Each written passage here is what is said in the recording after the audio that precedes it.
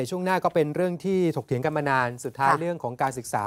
ของคณะกรรมาธิการวิสามันนะฮะเกี่ยวกับการตั้งบ่อนเสรีอะพูดง่ายๆคาสิโนออมาแล้วถูกกฎหมายกรณีการศึกษาของคณะกรรมการวิสามันนะครับเกี่ยวกับเรื่องของร่างพระราชบัญญัติสถาบันอ่าสถานบันเทิง ครบวงจรเนี่ยในรอบ ปีที่ผ่านมากับการศึกษาสรุปออกมาแล้ว ใช่เขาใช้เวคลารับเป็นปีนะคะ ในครับการตั้งแล้วก็มาศึกษารายละเอียดทั้งรูปแบบวิธีการหลักการมาตรการการป้องกันอะไรต่างๆ ขั้นตอนกระบวนการหลังจากนี้นะคะ ก็จะมีการนำร่างพรบสถานบันเทิง ครบวงจร หรือถ้าพูดง่าย ๆ ก็คือเป็นร่างกฎหมายที่จะทำให้บ้านเราสามารถเปิดบ่อนคาสิโนคาสิโนถูกแบบถูกกฎหมายได้นะคะ ก็จะมีการนำเสนอเข้าสู่ที่ประชุมสภานะคะ ในวันที่ 28 มีนาคมนี้ครับถ้าผ่านจากสภาและที่ประชุมผ่านเห็นชอบร่างฉบับนี้ ก็จะเสนอคณะรัฐมนตรี เพื่อดำเนินการในขั้นตอนต่อไป หลายคนก็อยากรู้ว่าในยุคนี้พศนี้นะคะ บ้านเรายอมรับเรื่องของคาสิโนได้มากน้อยแค่ไหนอย่างไรอืมเพราะบางคนบอกว่าหันไปดูญี่ปุ่น ญี่ปุ่นเขาก็เปิดคาสิโนนะ จริง ๆ ญี่ปุ่นน่ะเหมือนบ้านเรานะครับคัดค้านเรื่องของการตั้งบ่อนคาสิโน แต่ตั้งแต่ปี 2561 เขาก็เริ่มมีการผ่อนคลาย เพราะว่าเขาเตรียมที่จะมีการเปิดคาสิโนอย่างถูกกฎหมายนะคะ ในปี 2029 หรือ 2572 นั่นคือแห่งแรกนะคะที่โอซาก้าแล้วเขาขยายต่อเนื่องไปอีก 2 แห่งนะคะ ที่นางาซากิกับฟุกุโอกะด้วยใช่แล้วก็ก่อนหน้านั้นเองรอบบ้านของเราเองเนี่ยก็มีหมด หลากหลายประเทศ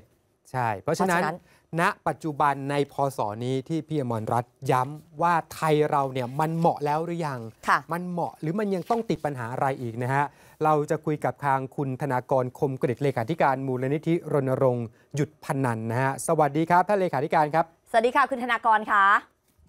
ครับครับสวัสดีทั้งสองท่านครับ ค่ะครับยุคนี้พอสอนนี้หลายหลายๆคนบอกว่าหันไปรอบข้างรอบบ้านเราก็มีคาสิโนแทบทั้งหมดเลยนะคะ ไม่ว่าจะเป็นเวียดนาม ฟิลิปปินส์สิงคโปร์นี่ก็เจ้าใหญ่มานานแล้วก็มาเลเซียทำรายได้เศรษฐกิจเยอะแยะมหาศาลอืมเลย พอกลับมามองบ้านเรา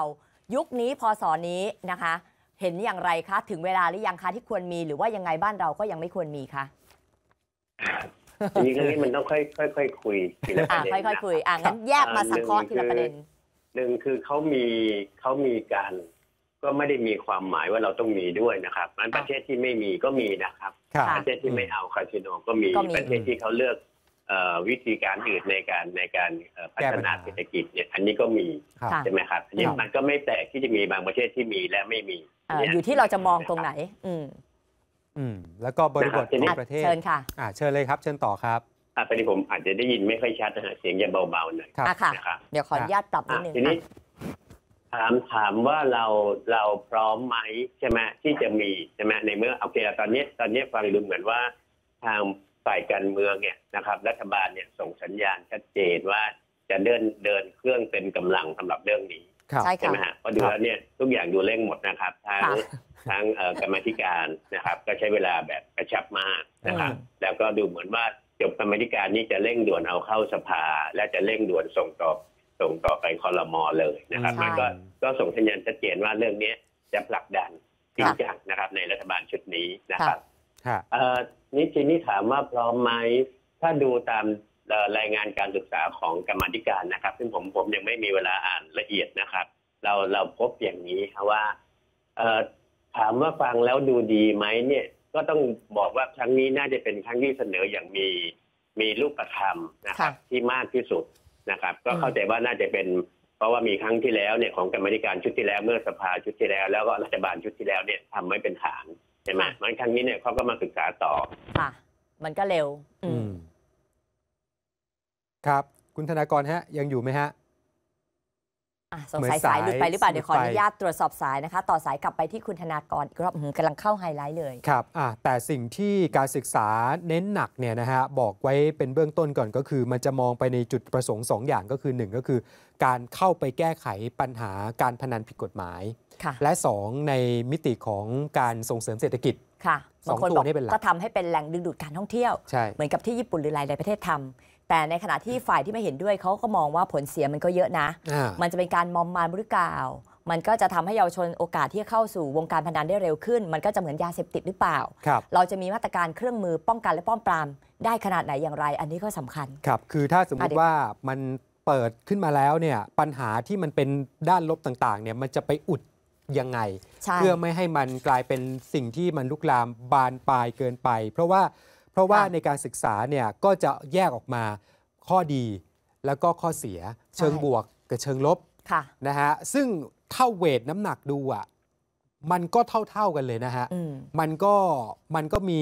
ประเด็นเชิงบวกที่เออมองดูแล้วน่าสนใจค่ะกับเชิงลบที่ต้องยอมรับว่าเป็นปัญหาที่ก็น่ากังวล ก็คือแยกเป็นมิติเศรษฐกิจกับท่องเที่ยวในการครับกระตุ้นเศรษฐกิจสร้างรายได้สร้างงานสร้างเงิน ในขณะที่มิติสังคมก็ต้องคิด แล้วปัญหาอาชญากรรมที่จะตามมา และหัวใจเลยเนี่ยที่เขาบอกน่ากังวลที่สุด ถ้าเรามีการเปิดบ่อนคาสิโนก็คือเรื่องการฟอกเงินอ่าโดยเฉใช่ไหมคะพาะเขาบอกมันจะเป็นช่องทางอันสวยงามสำหรับกระบวนการฟอกเงินเลยเขาจะชอบมากเลย ของอาชญา กรรมต่างๆ อาชญากทุรกรูปทั้งแบบข้ามชาติทุกอย่างยาเสพติดใด ๆ ก็ตามนะฮะแต่ทีนี้ที่พี่อมรรัตน์ตั้งประเด็นตอนแรกไปว่า มันเหมาะกับประเทศไทยในพศนี้ไหมเนี่ยพศในที่นี้หมายความว่าหนึ่งในบริบทของความรู้สึกหรือความคิดอ่านของคนเนี่ยอาจจะมีการปรับเปลี่ยนจากยุคในอดีตหนึ่งใช่แต่อะอีกมิติหนึ่งอะเรื่องของเกี่ยวกับเทคโนโลยีหรือการปฏิบัติการอะมาแล้วของอาชญากรเนี่ยมันก็ปรับเปลี่ยนเหมือนกันอะ คุยกันได้ต่อนะฮะกับคุณธนากคุณรธคนารับกรมาแล้วนะคะ คุณธนากรคะเชิญเลยค่ะ เชิญต่อเลยค่ะ สวัสดีค่ะ คุณธนากรครับ ยังไม่ได้ยินเสียงไม่รู้เกิดอะไรขึ้น คุณธนากรได้ยินไหมคะ เดี๋ยวขออนุญาตเช็คสายอ่านิดนึงเดี๋ยวนะคะเช็คสายเดี๋ยัยวงไม่ได้เข้ามาเช็คสัญญาณอีกรอบโอ้หนึ่งเกิดนะฮะอะไรขึ้นอะนะคะผมตอบดี๋ยวเมื่อกี้เดี๋ยวอืมที่คุยกับพี่อมรรัตน์ว่าว่าณพศนี้ความคิดอ่านของคนที่มันปรับเปลี่ยน บริบทมันเปลี่ยนไปบริบทเปลี่ยนไปอะพูดตรงๆนะอืม เรื่องของบ่อนคาสิโนเนี่ยเท่าที่ทำข่าวมา 10-20 ปีที่แล้วมีความพยายามผลักดันครับแต่ต้องยอมรับว่า 10-20 ปีที่แล้วเนี่ยแรงต้านเยอะอืม culture วัฒนธรรมสังคมบ้านเรายังไม่ยอมรับ แต่อะตอนนี้ไปกันที่คุณธนากรเลยนะคะโอเคสวัสดีค่ะครับ คุณธนากรครับไม่ได้ยินเสียงอ่าอะคุณธมนาฮะกรอะกลับมาเลยเวลาก็เดินไปอย่างรวดเร็วเชิญเลยค่ะ ต่อเลยค่ะ ครับอะผมผมเอางี้เอาให้ตรงประเด็นเอาเข้าประเด็นเลยดีกว่าครั้งเวนี้ลามันน้อยมีข้อเสนออืมครับ นะครับ มีข้อเสนอชัดเจนเรื่องของการมีกลไกนะครับกำกับดูแลควบคุมทั้งหลายเนี่ยค่ะอันี้อันนี้น่าจะเป็นตัวความแตกต่างที่ชัดเจนอืมค่ะใช่ไหมครับฮะเอ่อแล้วก็เอ่อค่อนข้างจะดีไซน์บอกไว้ชัดเจนว่ากลุ่มเป้าหมายหลัก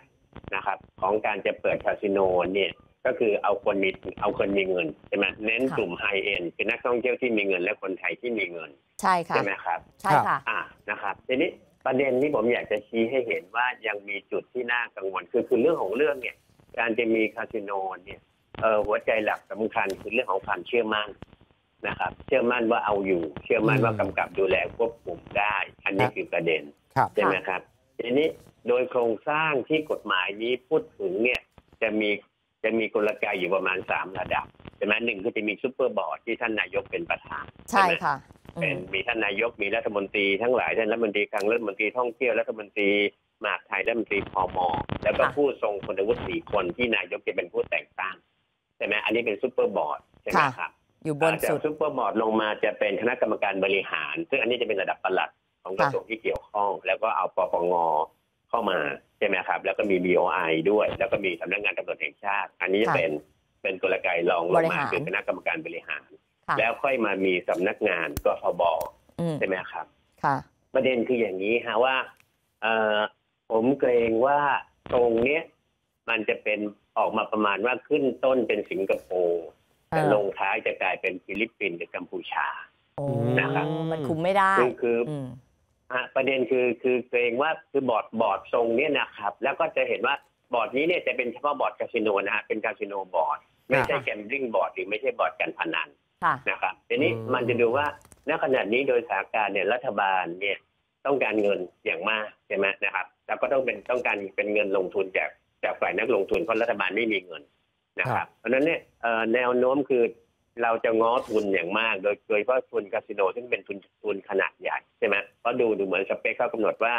จะเริ่มต้นที่ไซส์ XL ซึ่งต้องเป็นการลงทุนระดับแสนล้านนะครับมันมีความเป็นได้สูงมากว่ารัฐบาลจะง้อจะง้อในทุน นะครับอ่าและกฎระเบียบต่างๆนโยบายแนวทางต่างๆ ที่ออกมา มันจะเป็นในเชิงของการการจะส่งเสริมหรือการจะอุ้มอุ้มกลุ่มทุนคาสิโนนะครับเพื่อวางเงินของเขาเข้ามาใช่ไหมนะครับค่ะเอ่อมันจะกลายเป็นว่าเรือละเรือลำเนี้ยมันจะเอียง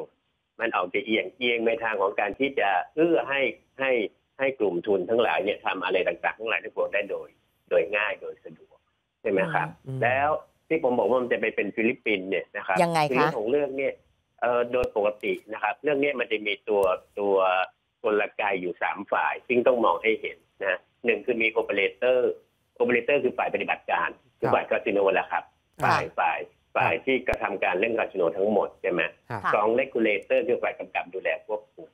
ครับสิ่งที่เรากังวลคือคือโอเปอเรเตอร์กับ regulator เนี่ยมันจะกลายเป็นเป็นหน่วยงานที่ที่เรียกว่าอะไรออกมาทางจะเป็นหน่วยงานเดียวกันแหละครับอืม regulator จะไม่ควบคุมโอเปอเรเตอร์อย่างจริงจังอย่างแข็งกันแข็งแรงค่ะนะครับเพราะดูดูแล้วเนี่ยออกแบบออกมาทรงอย่างนั้นซึ่งอันเนี้ยจะคล้ายกับกับฟิลิปปินส์ฟิลิปปินส์ก็มีหน่วยงานที่ชื่อ PAGCORใช่ไหมค่ะ PAGCOR ก็ก็ทำหน้าที่เป็นทั้งโอเปอเรเตอร์และ regulator ในตัวคือเป็นเป็นเจ้าของคาสิโนโดยรัฐด้วยของฟิลิปปินส์นะครับ แล้วก็เป็นเป็นฝ่ายกำกับดูแลดูแลเองด้วยมันประเด็นคือถ้าแยกอำนาจสองขานี้ไม่ออกจากกัน regulator มันจะกลายเป็นฝ่ายโอเปอเรเตอร์ค่ะ จะเป็นฝ่ายอำนวยการให้ให้กิจการคาสิโนดำเนินการไปอย่างไหลลื่น ไม่มีอุปสรรคไม่มีใครคอยกำกับดูแลขัดขวางอืมนะครับ อันนี้เป็นจุดอ่อนค่ะและอีกเรื่องก็คือว่าเขาออกแบบงานเนี้ยนะครับ